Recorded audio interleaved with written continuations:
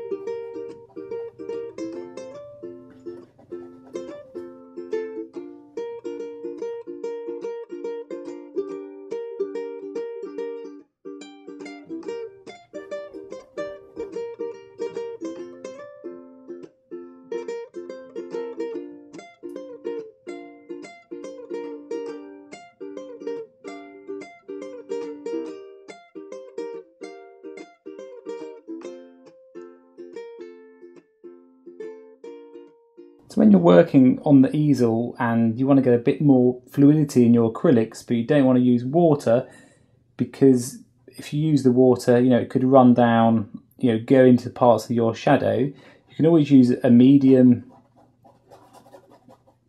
So this is a bit of uh, glazing liquid with a gloss finish.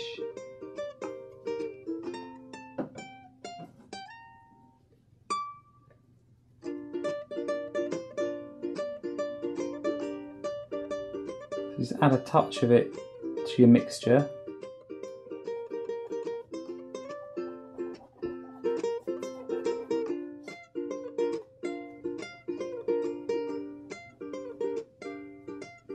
Now you notice how um, this didn't really look that dark before with the burnt umber, but as soon as you start to put a white next to it, it makes it a lot darker and you start to get this form of the cherry will start to come out in front of us.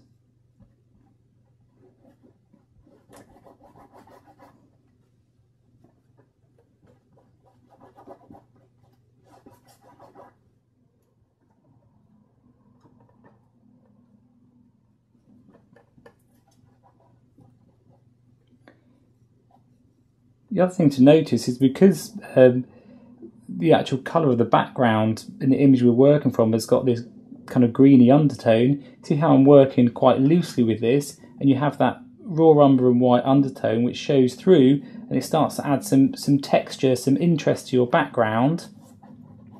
Um, and, it, it, and it's very very simply done. I mean, I'm being you know quite rough with it, quite loose with it, um, but the translucent nature of it, because we're thinning it out, um, helps for that under color to shine through rather than just being you know a solid block or what classically a a beginner to acrylics would do is start with a white canvas and draw the cherry on top of the white canvas. If you work this way, it will give your work a lot more of a professional finish, and it's actually it's, it's a lot more enjoyable to do this way.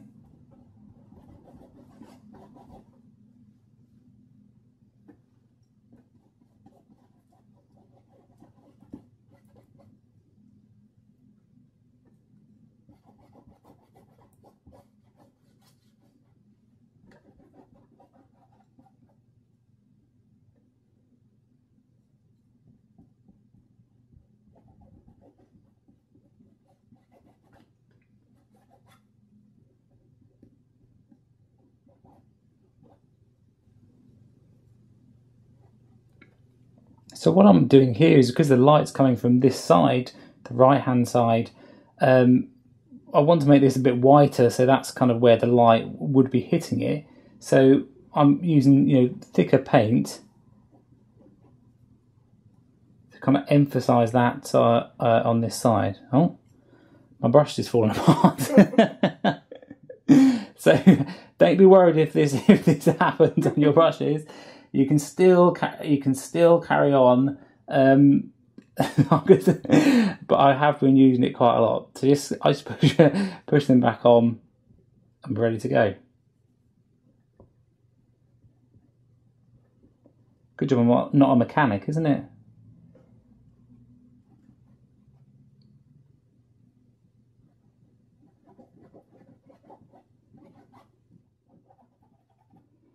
Okay, and now I'm just kind of assessing um, the whole of the picture, and see how it's how it's looking, and I quite like it. I quite like this kind of textural element to it. To, um, I might blend that in um, there a bit, so this isn't too too warm. But I want a bit of that warmth because when we add that real red of the cherry, you need something to balance it out um, into the painting. So um, that's pretty much it for this uh, this first stage, just with these two colours. I might add a bit of that just to soften that off. Okay, great.